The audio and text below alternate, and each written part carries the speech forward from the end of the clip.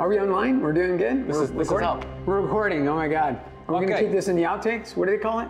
All the bloopers and everything? You know, like the Jackie, Sometimes we do Jackie. Chan movies are Sometimes we do on the it. end. Sometimes we don't. Sometimes we don't. We should All do right. an outtakes video. Sorry, I'm yapping. So we're going to get started with this one. Um, we're just going to quickly go through what these two things are. If you don't know what this is, then where have you been all this time? So this is actually the AM5 from ZWO. It's actually one of their strain wave mounts. And we have its little brother over here, which is the AM3. AM3. Which is also a strain wave mount, believe it or not. And I think the first I can't thing- stop fiddling with this. I apologize. It's okay. all these little widgets and gadgets on here. Well, I mean, we can go through all, all these things too. In Well, it's just a cool. I second. like this. Sorry, man. I'm jumping the gun here. I, just, know, I like the is a- movement. It feels good. It does. Look, It see, that's the thing about this stuff is this is one of the things that uh, I should point out with mounts of old by mounts of today is Yeah. Tolerances have increased. Oh, Everything has gotten so much better. The machining, everything. They have. And producing made- something like this has been, you know, it- it's like why couldn't have they done this sooner?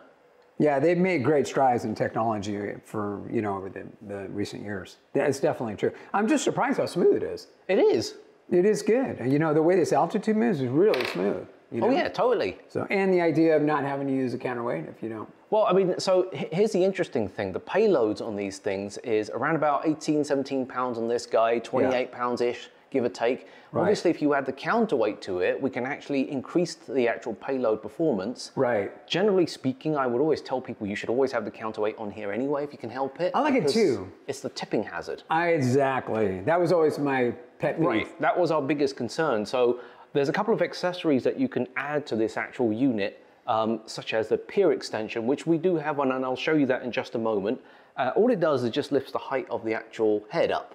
Right, So If you're using long refractors, Yeah. you're less likely to have a collision.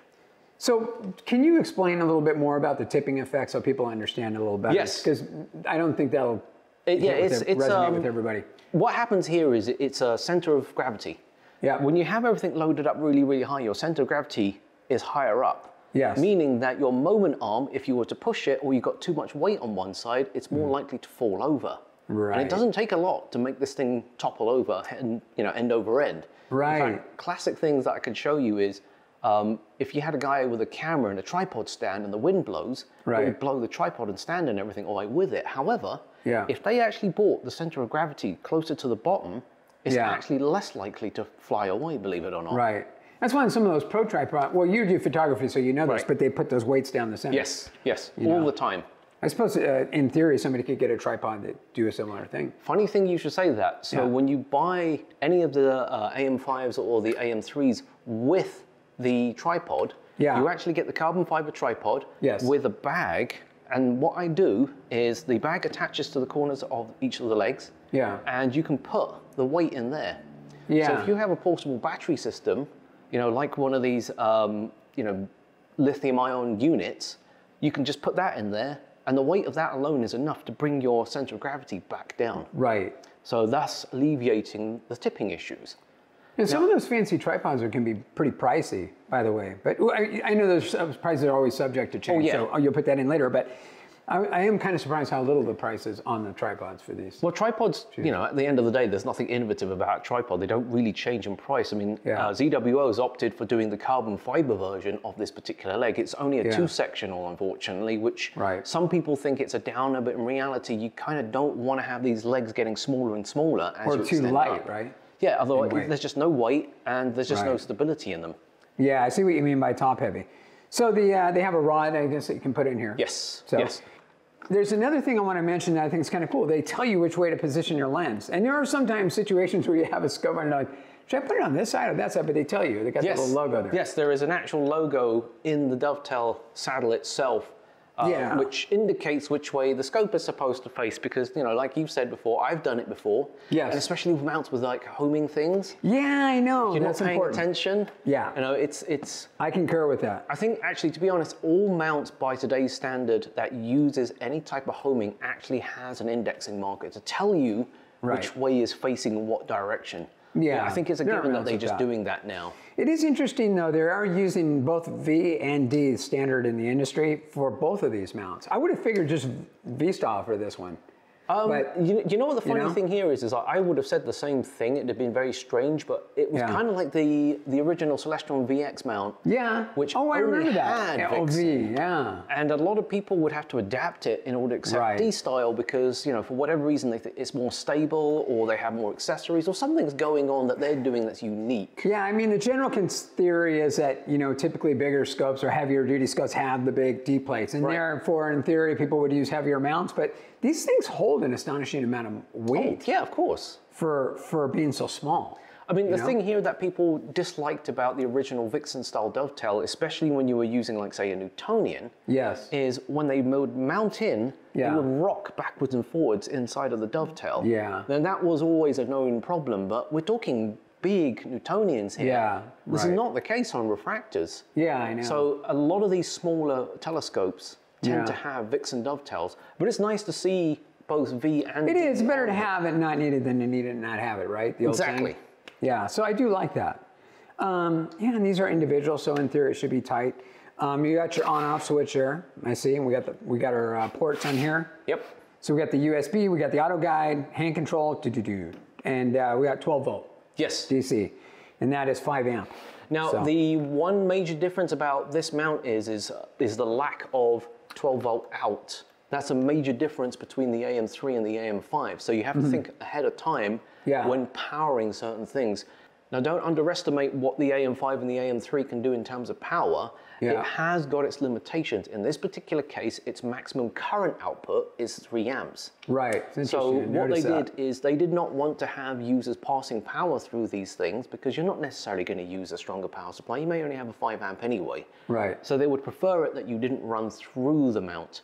Plus, more complications for internal cabling and things like that. They just thought, let's just keep it simple and keep the cost low. Right. That's fantastic. Uh, so far, I, I mean, I like it. It's small, it's super smooth, and it's very quiet. For those of you who've never heard one of these things, they're very quiet. Yes, They're, like whisper, very, yeah, very. They're quiet. very whisper quiet. I was very impressed with that. You know, One of the things that um, I think is a good thing is this is the AM5. It's it's not heavy heavy, but Yeah, it's, it doesn't feel- feels something. But when you pick up the AM3 by comparison, yeah, you know there is an obvious weight difference.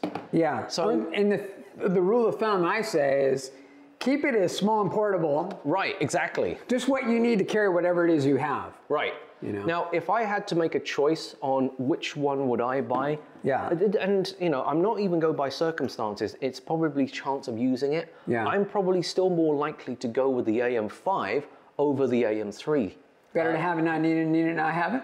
To a certain extent. Is that your theory? That's my theory Better to have it I like, I like have the payload capacity. However, Yeah. for those people who do like to travel and have small setups, the AM3 by comparison is probably the best one regardless, if depending Mm. on what it is that you're doing.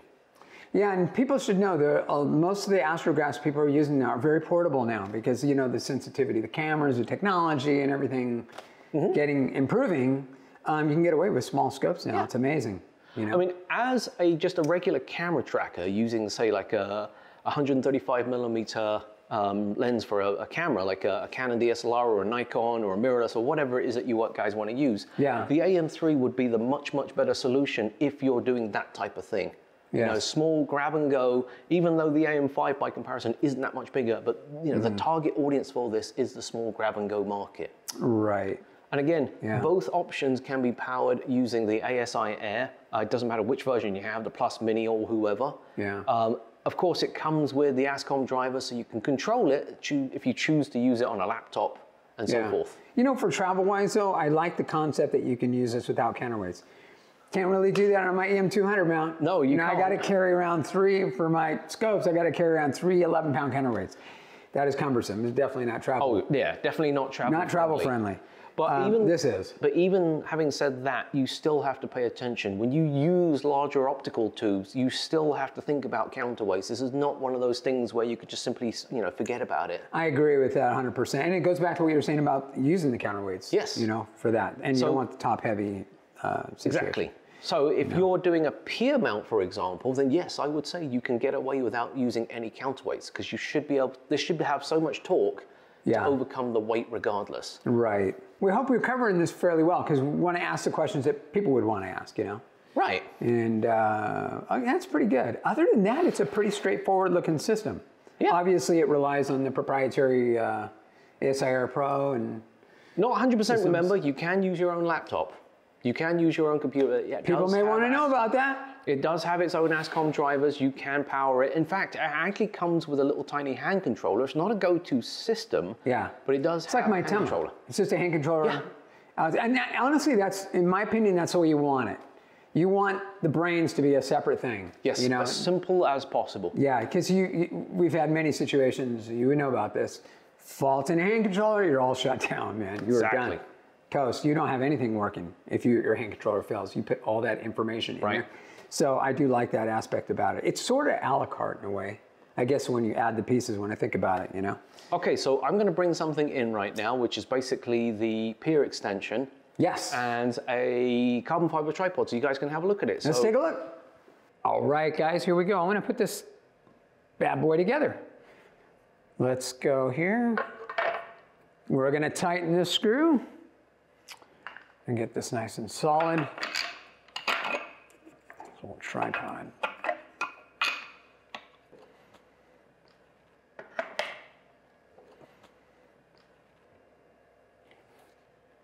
Daniel, let's uh, talk me through the uh, the pier extension. So we got the PE160. Yep. We take this guy here and we flip it over. And we- obviously we put the bolts on to attach it on. Yeah, straight in there and nestle it. Yep. Now I like these uh, these kind of you know you'll see these fasteners here. They're kind of cool because when you get to a certain point where you can't run them, you can pull them out. Yes. Position them anywhere you want and just snug that in there. You notice that. Uh, um, let me snug it in there. It's a nice pier extension. It is. I like it. It's solid as heck. Yeah. Um, and then we have the space in here to adjust here. Yep.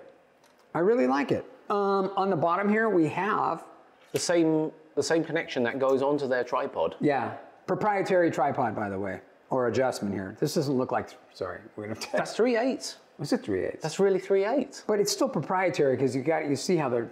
Oh yeah, no. So this part of it is a proprietary section. There are other companies that sell a similar tripod to this particular design, Yeah, uh, and they are all interchangeable. But they've opted for this particular system because of Yeah. the three-point pinch contact system. and it's exactly the same. Yes, it's exactly the same. So if you have multiples of these parts, you can just basically put them onto the different pieces.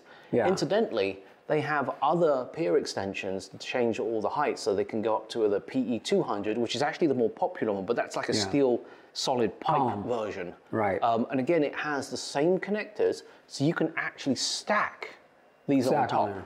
It's beautiful. I like. I just. I like the idea that this thing is just so.